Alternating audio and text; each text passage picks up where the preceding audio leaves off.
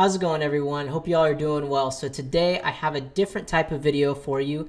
Graph problems are a huge part of the technical interview process, so I thought it would be a good idea to give three tips for solving graph problems. And I'll be going through full examples for each tip to make sure that it's easily understood. So don't forget to like and subscribe if you want more content like this. And without further ado, let's get into it. All right, on to tip number one. So, this tip is related to the breadth first search algorithm. This search algorithm is very popular across many different interview problems, and it's very important to know what data type to use when you're writing your BFS solution. So, what do I mean by that? Let's jump into an example. So, let's say we were to start off with a matrix with the numbers 0 through 8. In many typical graph problems, the graphs are represented as matrices, where the numbers inside of the matrix are actually the vertices and the index neighbors are the edges. So if we were to look at node 2, for example, that would be node 2 vertex. And the edges of node 2 would be the connection from 2 to 1 and 2 to 5. And also, if we wanted to include diagonals, we could also include node 4, but for this example, let's only include edges as nodes that are horizontal or vertical. So that would just be vertice 1 and vertice 5. So if we wanted to perform a breadth first search on this matrix starting at node 2, we would obviously need to utilize a queue.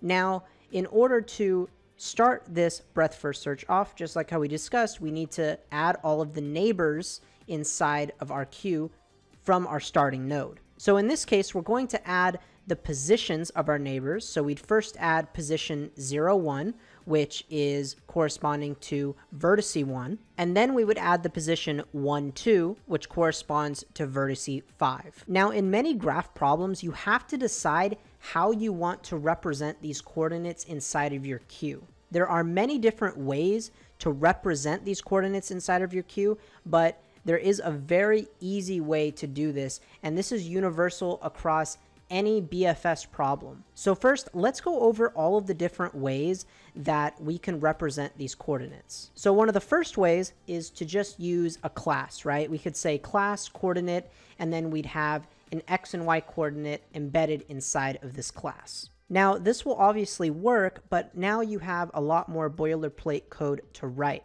And in an interview, you know, you want to try to keep your code as concise as possible. So we can exclude this method. Method number two of representing the coordinates is we could just use a string, right?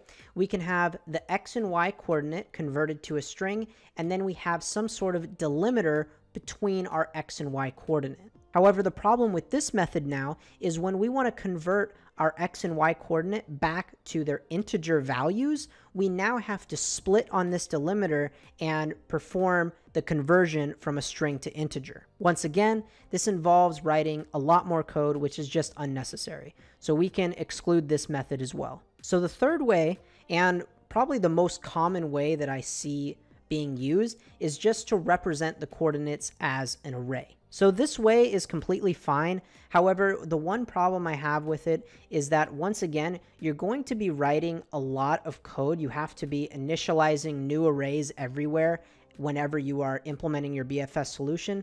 And in an interview, you want to try to keep your code as concise as possible. You know, even saving an extra couple minutes could mean getting the job and not getting the job. So although this method is kind of the best of the worst, I would still exclude this one.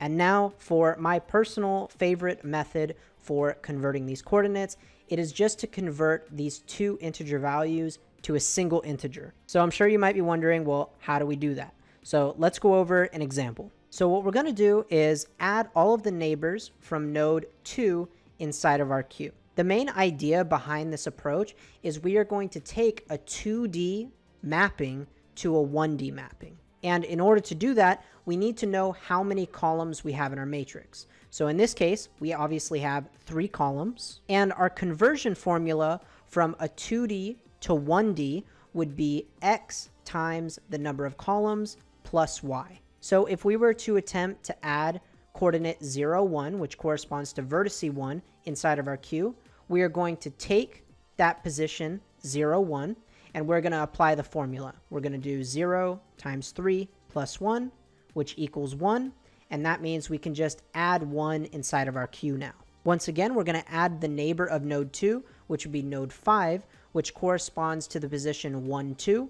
If we apply the formula, that will be 1 times 3 plus 2, which equals 5, and that means we can add 5 inside of our queue.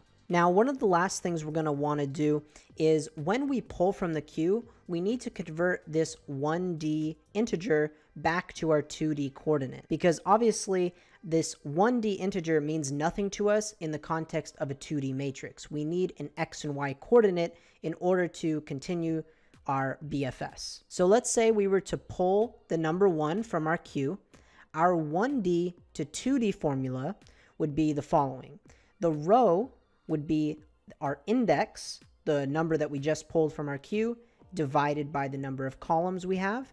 And then the column number would be the index mod the number of columns that we have. So now with both of these formulas, we're able to do conversions from 1D to 2D and vice versa. So if we were to apply this logic to the number 1, we would do 1 divided by 3, which would be equal to 0. That's our row. And then we do 1 mod 3, which is 1. So now, as you can see, this number 1, we've successfully converted back to our original coordinate of 0, 1, which corresponds to our number 1 vertice. Likewise, if we were to perform the same logic on the value 5, we're going to do 5 divided by 3, which would be 1, and then 5 mod 3, which would be 2, and now we have the coordinate 1, 2, which corresponds to the vertice 5. So although this method does involve the use of formulas, they aren't too complicated to understand and they will allow you to write far less code when you're implementing your BFS solution. On to tip number two. So this tip is also relating to the breadth first search algorithm and it's going to allow you to write your BFS solution in a much cleaner and faster way. Let's look at the same matrix and look at vertice number four. Vertice number four has connections to 1, 3, 5, and 7. Now, just like we discussed, a breadth first search will have to check all of the neighbors, add them inside of the queue. And what that means is that we need to look in the upwards position, left, right, and down. And we have to perform that logic for every single vertice that we come across. So if we were to look at some pseudocode for a BFS, it would look something like this. We would first pull from our queue. So in this case, if we were to look at vertice 4, we would pull the coordinates 1, 1. And now that we have those row and column numbers, we would then have to calculate what the left, right, up, and down coordinates are. And now for every single direction, we're going to need to check if that position is even valid. If it is, we need to add that position to our queue and add the position to our visited set. So as you can see from this code where we're checking if the position is valid and adding it into our data structures, this code is duplicated across each direction that we're checking. And this is a very common way that I see people solve breadth first search problems. However, there is a much easier way to write this that will not affect your time or space complexity. So we have the old way on the left, and for the new way, we're also going to be utilizing queue as normal, and we're going to be pulling from our queue just like how we are in the old version. But now in the new version, the difference is we're going to create a 2D array which will hold all of the directions that we're going to need to check. So these directions, the inner arrays inside of directions, is equivalent to the left, right, up, down in the old version that we initialized at the top. As you can see, they're essentially doing the same thing. For example, if we look at left on the old, it's saying that, okay, we want the row and column minus one. Well, if we look at the new version, if we look at the left array, all it's saying is, okay, the row, we're going to keep it at zero, but the column, we're going to subtract it by one. And the same logic applies for all of the other directions. And now once we initialize this directions array, we can then loop over each array. And once we extract each direction, we then append it to the row and column that we pulled from our queue. So now with this new X and Y value that we've just calculated, we can then just check if that X and Y coordinate is valid. If it is, then that means we can add it inside of our queue and add it inside of our visited set. So as you can see, the new way will allow you to reduce the amount of code that you have to write and it's going to simplify the logic for you when you're implementing your breadth first search solution. On to our last tip, tip number three. This is relating to really any general graph problem, and that is to use your input to your function as a way to keep track of previous calculations that you've made. So once again, let's jump into an example so this makes more sense. So let's say we have the following matrix, and this matrix only contains numbers that are zeros or ones. And what this means is that our input to this function is actually restricted. In many graph questions, you'll find that the problem at hand is to search through this given input and maybe find the maximum of something, minimum of something, and it's usually on a restricted input. And as you are traversing through all of these nodes in this graph, you will usually have a set to keep track of visited elements that you have come across. So let's say we were traversing over this matrix, and every time we encounter an element,